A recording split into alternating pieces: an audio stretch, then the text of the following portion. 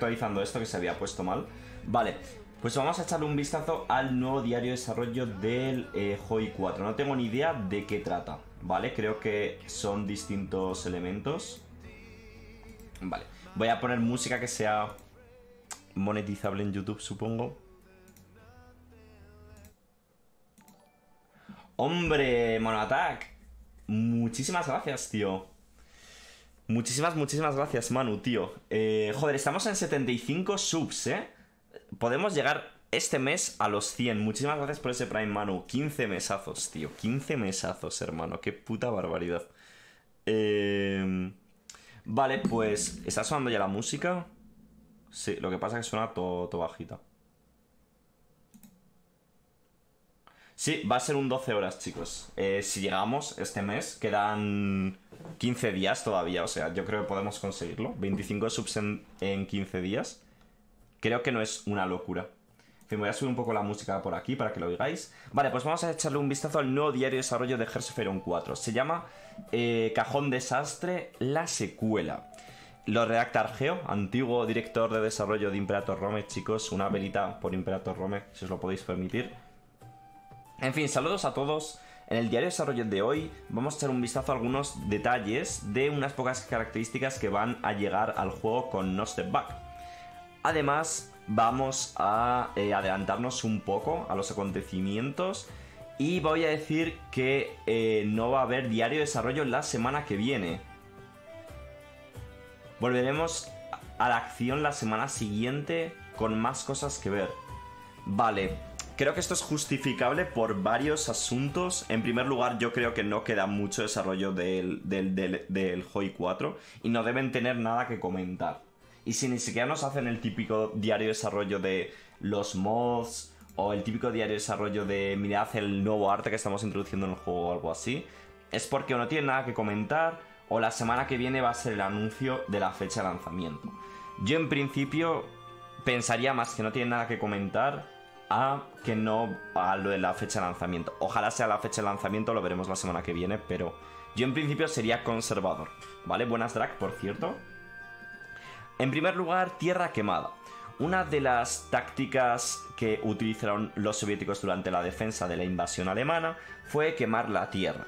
En No Step Back podrás utilizar poder de comando para eh, darle la, la opción estratégica de desactivar ferrocarriles en el evento de hacer una retirada táctica. Bueno, o sea, nos podemos... Perdone, nos podemos cargar ferrocarriles a la hora de retirarnos. No me termina de convencer el icono, supongo que no es final. Vale, aquí lo vemos. Botón de tierra quemada. Supongo que no es final. Eh, o sea, llega a ser el típico verde oscuro de Hoi 4, quedaría de puta madre. Pero así rosa creo que no llegará ni de coña.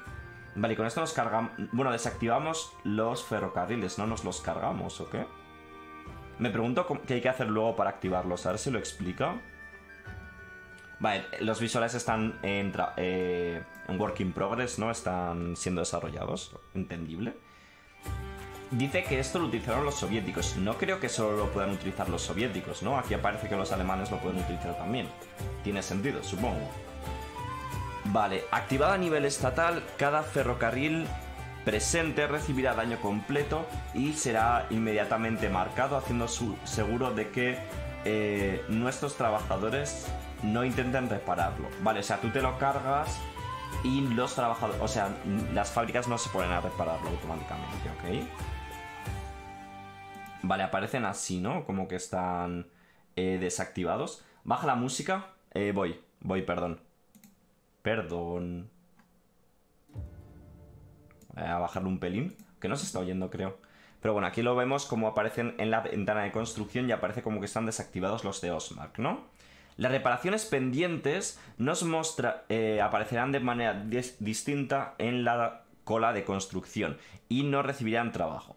En vez de reactivar todas estas manualmente, puedes activar el estado de, tierra quemada en un estado directamente de la misma manera que lo activaste, ¿vale? O sea, básicamente tenemos que volver a este botón con el que lo hemos activado y desactivarlo, ¿no? Para, para poder volver a trabajar en ellas. Y de esta manera comenzarán a repararse las líneas de ferrocarril. La tierra quemada es una mecánica muy simple, pero es potencialmente, tiene efectos potencialmente devastadores en los invasores. De forma adicional a la conversión de raíles que existirá en un ferrocarril capturado, dañar al ferrocarril eh, aquellos ferrocarriles dañados deben ser reparados para continuar mandando suministro hacia adelante. Me pregunto si te encuentras un ferrocarril desactivado, si puedes construir ferrocarril en esa provincia. Rollo, yo qué sé, vas a por los soviéticos y te encuentras que han desactivado los ferrocarriles, ¿qué puedes hacer con ellos? Entiendo que una vez encuentres, o sea, domines la provincia entera, podrás desactivar tú la tierra quemada manualmente, ¿no? Bueno, habíamos considerado extender algunos efectos a las fábricas. Hemos determinado que esto iba a afectar mucho al equilibrio más de lo que querríamos, ¿no?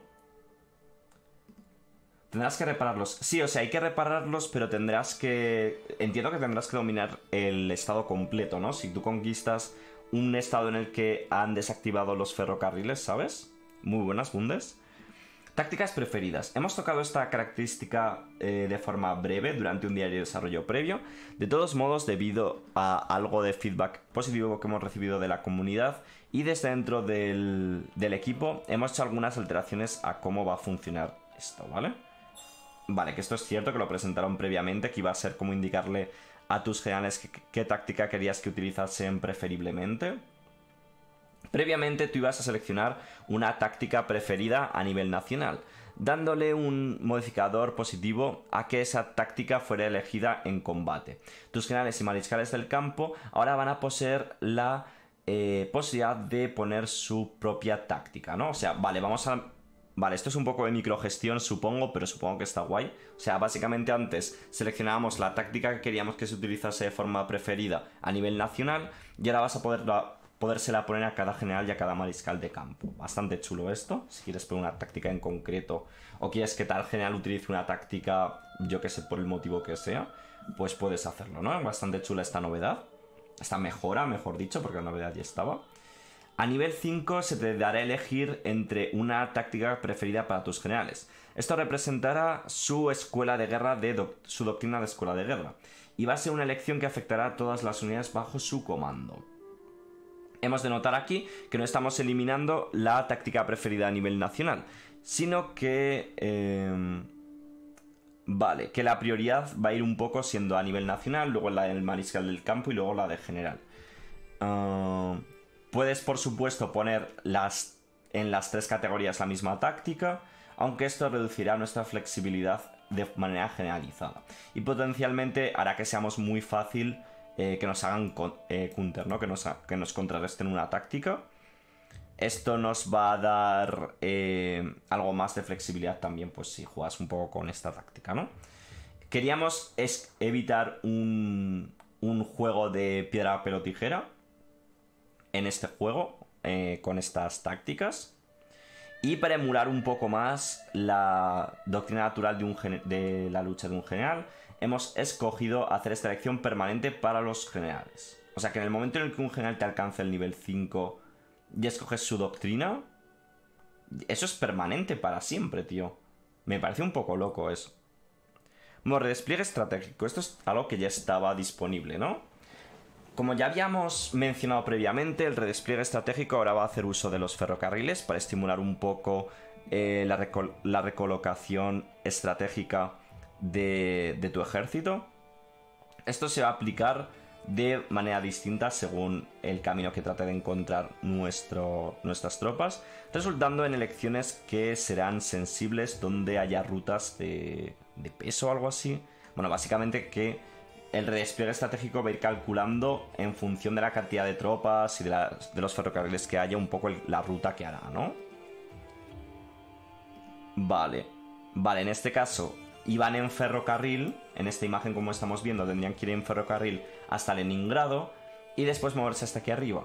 Y como eh, tiene que dar mucha vuelta, lo que hacen es parar en esta provincia de aquí, como que toman un autobús, se van hasta aquí, toman el ferrocarril esta provincia y ya llegan hasta su objetivo. Mola, mola, o sea, como que la IA tiene en cuenta un poco de forma óptima cuáles son las rutas que tiene, por las que tiene que viajar, está bastante chulo eso.